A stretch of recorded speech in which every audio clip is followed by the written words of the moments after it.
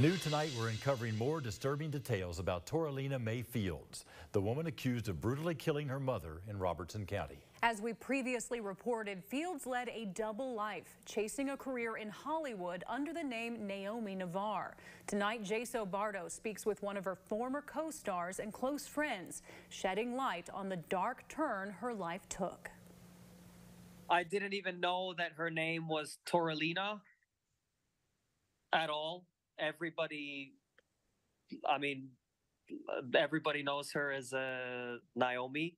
Andoni Zorbas is in shock. He thought he knew his co-star and friend Naomi Navarre, who starred alongside him in the 2019 film A Dance Story, which Zorbas wrote, directed, and headlined. Whenever I think of her, I think of happiness, I think of laughter, I think of positivity. Naomi, whose real name is Torilena May Fields, was arrested earlier this month accused of the grisly murder and dismemberment of her mother, Trudy. I expect a lot of things to happen, like in life, but this is the only thing that is the least thing that I could ever expect.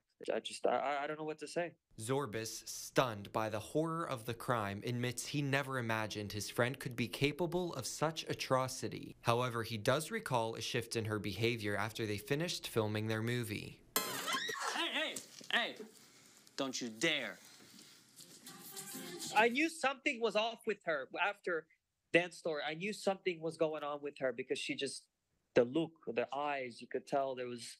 I could tell that it's not Naomi anymore. It's not the Naomi that we all knew her as. Family members say she was involved in a motorcycle accident while living in California and had only moved back to Kentucky a few months ago.